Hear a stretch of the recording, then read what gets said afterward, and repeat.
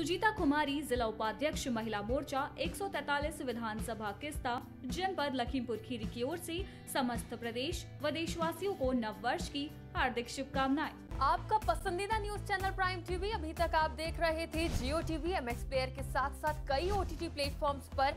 और अब ये आ गया है नेटविजन के चैनल नंबर दो पर। आप देख रहे हैं प्राइम टीवी सच साहस सरोकार।